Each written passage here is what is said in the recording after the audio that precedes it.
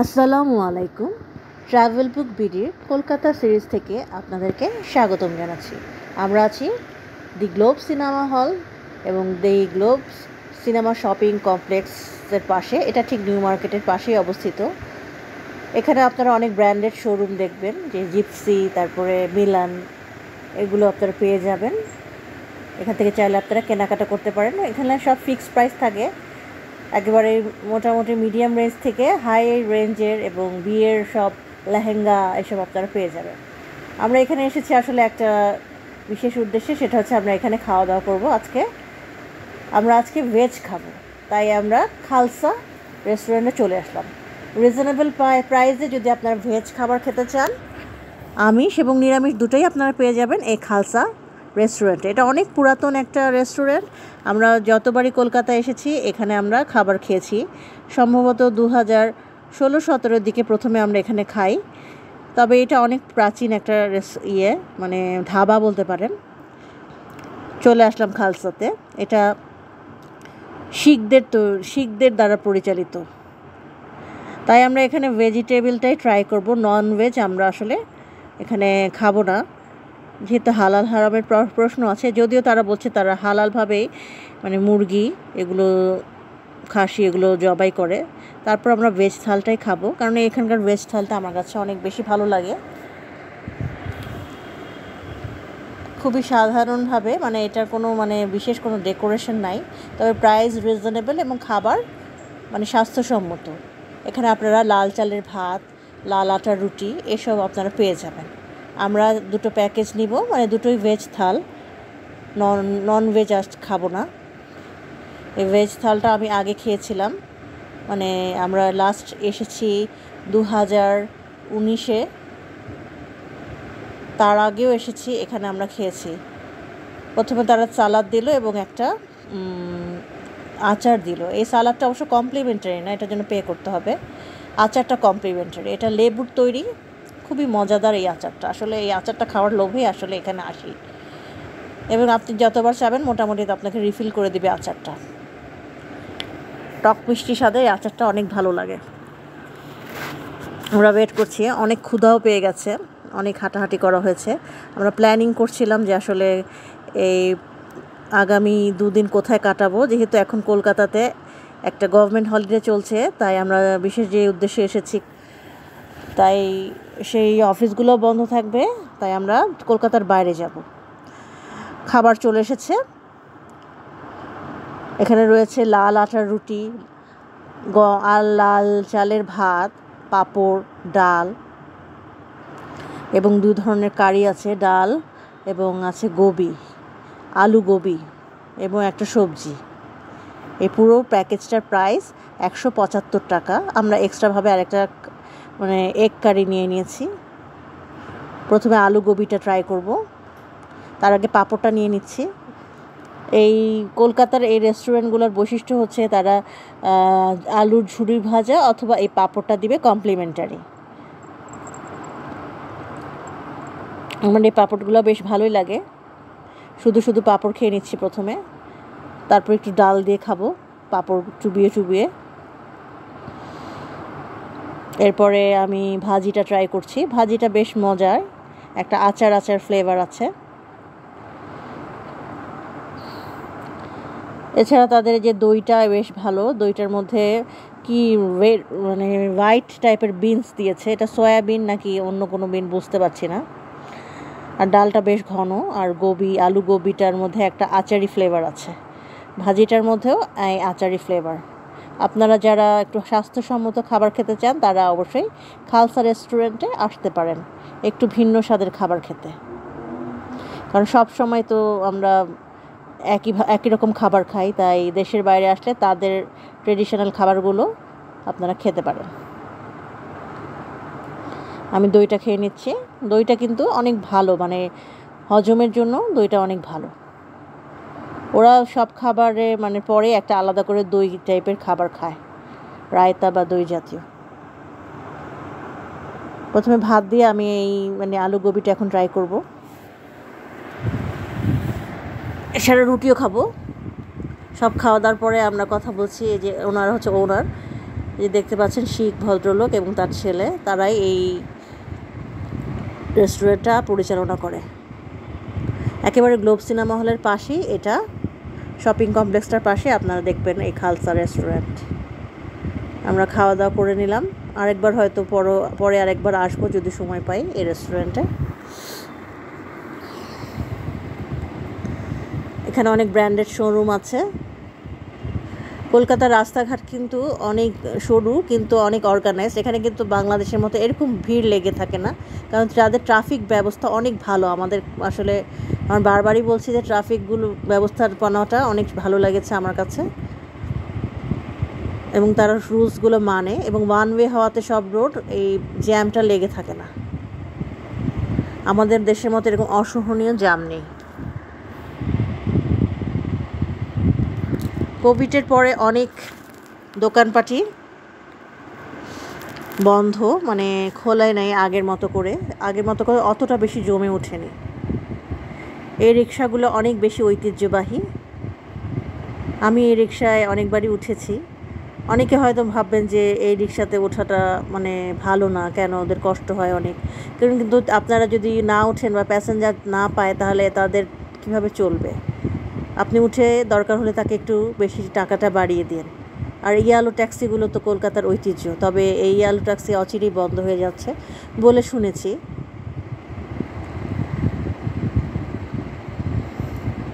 আমরা আশেপাশে দেখছি দোকানগুলো। কিছু মানি এক্সচেঞ্জ করাবো। এগুলো হচ্ছে কলকাতার গলি। নিউ মার্কেট আশেপাশে আপনারা এরকম ফ্রি স্কুল স্ট্রিট তারপরে সদর স্ট্রিট মির্জা গালিব স্ট্রিট এগুলো পেয়ে যাবেন। আমাদের হোটেলটা পড়েছে সদর স্ট্রিটে আমরা সেদিকেই এখন যাচ্ছি।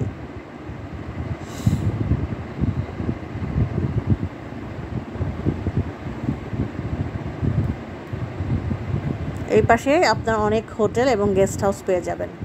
আপনারা অ্যাগোডা বা বুকিং ডট কমের মাধ্যমে এই হোটেলগুলো বুক করতে পারেন। আমাদের হোটেলটি ছিল গোল্ডেন অ্যাপেল বুটিক। আমি বিস্তারিত দেখিয়েছি, আজকে আরেকবার একটু দেখিয়ে দিচ্ছি এটা মিডিয়াম টু লো রেঞ্জেরই বলতে পারবেন, মিডিয়াম রেঞ্জের থেকে একটু কম একটা হোটেল। তবে হোটেলটা মোটামুটি পরিষ্কার পরিচ্ছন্ন। তবে আপনারা এখানে ওরকম ফ্যাসিলিটি পাবেন না। মানে আপনারা হোম স্টের মতো হোম স্টের মতো অনেকটা এটা। এটা মুসলমানদের দ্বারা পরিচালিত মুসলিম হোটেল। কিন্তু এখানে আপনার কোনো রেস্টুরেন্ট ইনক্লুডেড নাই। আপনাকে খাবার দাবার বাইরে খেতে হবে। তবে আশেপাশে আপনি বের হলেই খাওয়া দাওয়া পেয়ে যাবেন। সে চিন্তা আপনাকে তেমন করতে হবে না। ভাড়াটা একটু কম। অনেক প্রাচীন এই হোটেলটা। আমাদের রুমটা একেবারে শেষ মাথায়। তিন নাম্বার মানে তিন তলায় ছিল। তবে এখানে লিফট আছে, আপনাদের সেই অসুবিধা হবে না।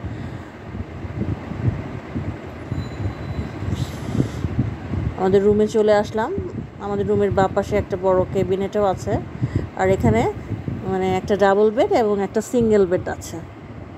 রুমটাতে এসি করা আছে, তবে এখানে আপনারা হোটেলের যে ফ্যাসিলিটিগুলো আপনাদের যে ইলেকট্রিক ক্যাটল বা চা কফি এগুলো কিছুই পাবেন না।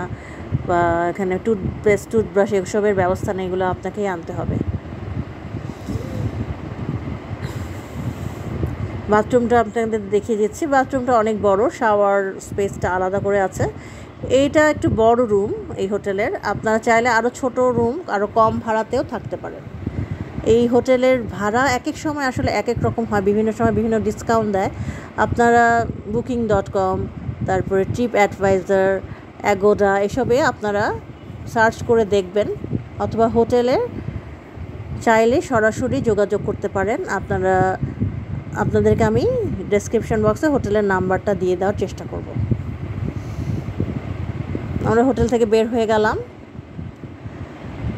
আমরা এই তিন দিন গ্যাংটকে যাব বলে ঠিক করেছি। তিন দিন মানে দুই দিন গ্যাংটকে কাটাবো। আমাদের সিকিম যাওয়ার ইচ্ছা, তাই আমরা ট্রেনের টিকিট করতে দিয়েছিলাম আগে। এখানে দেখলাম আমাদের টিকিটটা এসেছে কি না আমরা সেই জন্য অনেক কিছু গরম কাপড় নিয়ে নিচ্ছি। এখন গরমকাল তাই এই গরম কাপড়ের উপর অনেক বেশি সেল দিয়েছে। ফ্রি স্কুল স্ট্রিট বা মির্জা গালিব স্ট্রিটে এই বড় বড় শালের দোকানগুলো অবস্থিত। আপনারা চাইলে এখান থেকে বিজনেস বা পার্সোনাল ইউজের জন্য কিনতে পারেন। আমি কতগুলো শাল দেখে নিচ্ছি, কাশ্মীরি শাল। এখানে অনেক রিজনেবল প্রাইসে আপনারা পেয়ে যাবেন। সুন্দর সুন্দর মানে ভালো মানের কাশ্মীরি শাল। প্রাইসটা একেবারে আপনার ফাইভ ফাইভ হান্ড্রেড থেকে একেবারে ফিফটি থাউজেন্ডের মধ্যে আছে। আপনাদের বাজেট অনুযায়ী আপনারা দেখবেন। এছাড়া অরবিন্দ কাপড় এখানে পাবেন আপনারা। অনেকগুলো শাল মানে আমার পছন্দ হয়েছে, কিন্তু এখন তো আমি আসলে শপিংয়ের উদ্দেশ্যে এবার আসিনি। তাই নিজের যতটুকু প্রয়োজন, অতটুকুই আমি নিয়ে নিচ্ছি। এছাড়া হিজাব পেয়ে যাবেন আপনারা, একটু গরম কাপড়ের মতো হিজাব, কাজ করা, কারুকার্য করা। তিনশো, সাড়ে তিনশো, একশো রুপিয়ার মধ্যেও আছে, তবে একশো রুপিয়ারগুলো মান তেমন ভালো না। তিনশো রুপিয়ার থেকে বেশি যেগুলো, সেগুলোর মান এবং ডিজাইন আমার বেশি পছন্দ হয়েছে। আমি হিজাবে হিজাব শাল নিয়ে নিলাম আর নিলাম কাশ্মীরি শাল।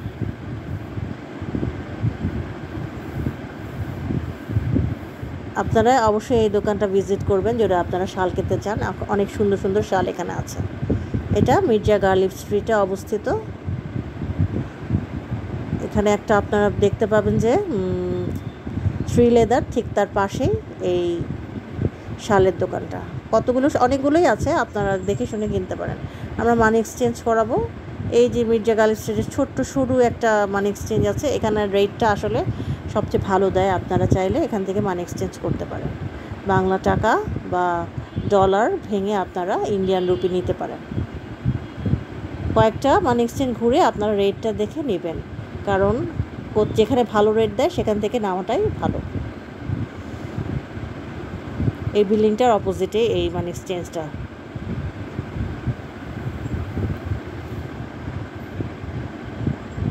পাশে একটা জুয়েলারি শপ আছে, আপনারা চাইলে এখান থেকে মানি এক্সচেঞ্জ করতে পারেন। দোকানটার কোনো নাম নেই, তাই আপনাদেরকে দেখাতে পারছি না।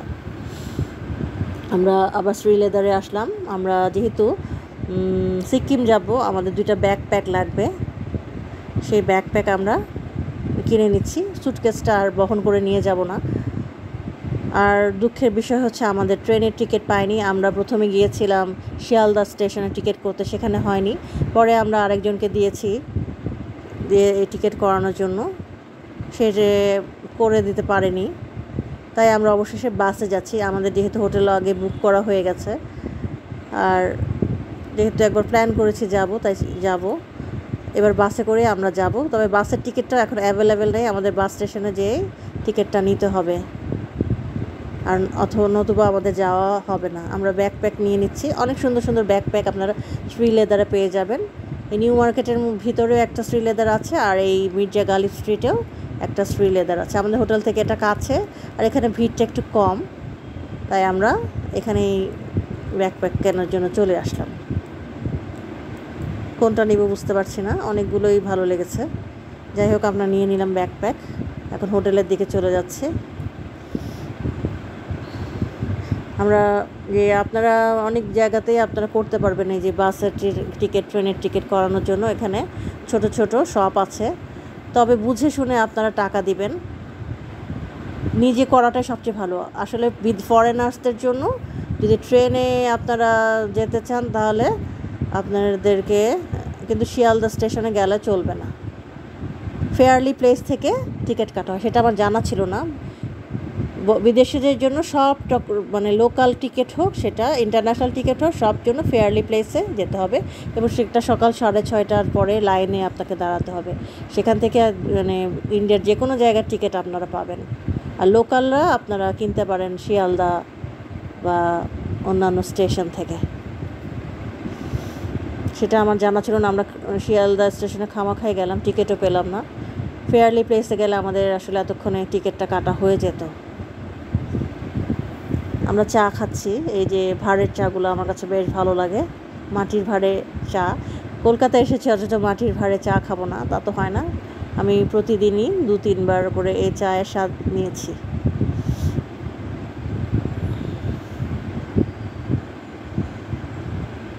শেরবারের মতো খোঁজ নিচ্ছি, আমরা যেখানে টিকিট কাটতে দিয়েছিলাম, তারা আমাদের বাসের টিকিটটা করে দিতে পেরেছি কিনা অনলাইনে মহিমা ফরেন এক্সচেঞ্জ অ্যান্ড মানে এরা ফরেন এক্সচেঞ্জ দেয় এবং বাস বাস ট্রেনে টিকিট করে। ওনারা অনেক ট্রাই করেছে কিন্তু করতে পারেনি। আসলে আমাদের নিজেদেরই ফেয়ারলি পেজ থেকে টিকিটটা করা উচিত ছিল। ওনাদের, ওনারা আমাদেরকে গ্যারান্টি দিয়েছিল, কিন্তু যাই হোক, দুর্ভাগ্যবশত টিকিটটা করতে পারেনি। এখন আমরা যাচ্ছি ধর্মতলা বাস স্ট্যান্ডে দেখি সেখানে কোনো এসি বাসের ভলভো টিকিট পাই কি না যদি এসি টিকিট পাই তাহলে যাব। এখন যেহেতু সামনেও ছুটি ওদের, তাই সব টিকিট বিক্রি হয়ে গিয়েছে এবং বাসের ভাড়া প্রায় দ্বিগুণ হয়ে গিয়েছে। আমাদেরকে দ্বিগুণ ভাড়া গুনেই একটা বাস নিতে হলো। প্রথমে একটা বাস নিয়েছে, দিল, সেটার মধ্যে আসলে এসিও ঠিক মতো কাজ করে না, একেবারে লাস্ট সিট পরে অনেক ঘোরাঘুরি করে, ওই দাদাটা অবশ্য অনেক ট্রাই করেছে। আমরা টিকিট নিয়ে নিলাম। পার হেড আড়াই হাজার রুপি নিয়েছে, দুইজনের পাঁচ হাজার রুপি গুনতে হলো।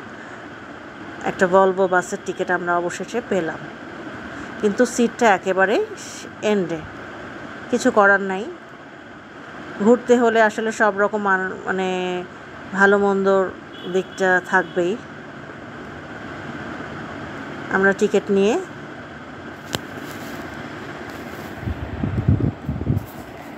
নিলাম আর কি করব, আমাদের বাস রাতে।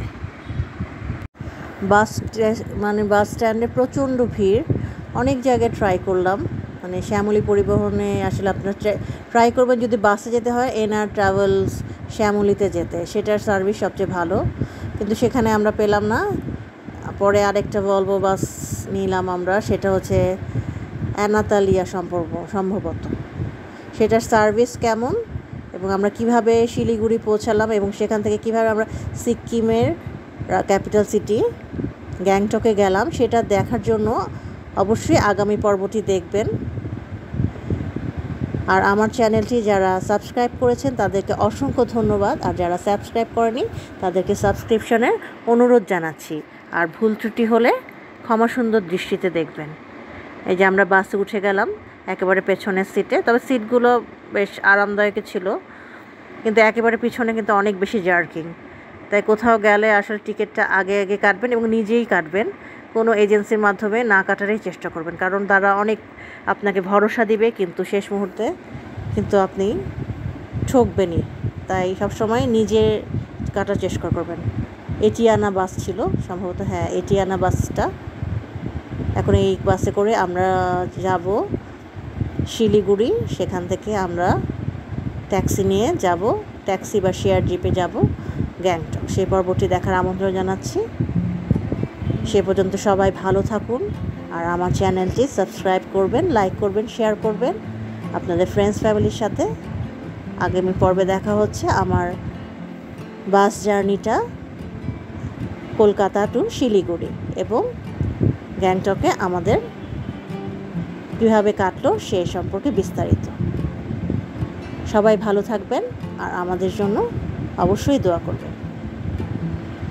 আল্লাহ হাফেজ।